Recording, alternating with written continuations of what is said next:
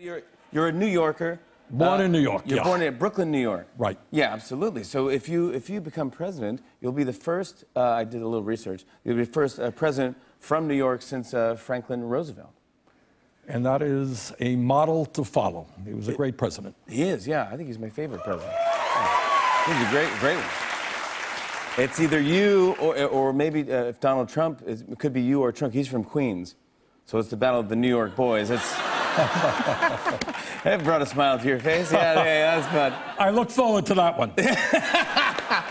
Uh, can I get into a little bit of that? Uh, clearly, he's in all the headlines right now, Donald Trump. Right. Uh, do, what are your comments on, uh, or what are your take on what he's doing? Look? Jimmy, you know, throughout history, uh, you've had uh, demagogues uh, trying to divert attention away from the real issues. This country today faces some enormous problems. You know, we have a middle class that's disappearing.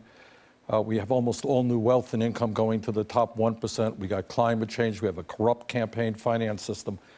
And what somebody like a Trump is trying to do is to divide us up. We're supposed to, a few months ago, we were supposed to hate Mexicans, and he thinks they're all criminals or rapists.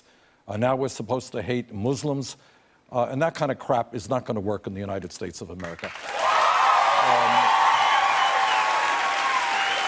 I think, I think, I, I think what the American people understand is given the problems that we face, we got to stand together, come together, and create a decent life for all of our people and, and stop this scapegoating of one group or another.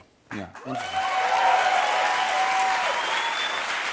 it's, it's fascinating how he keeps uh, getting. The, when, when you're running for president, do you focus more on beating Donald Trump right now, or are you focusing on beating Hillary Clinton right now? Well, I look forward to beating Donald Trump.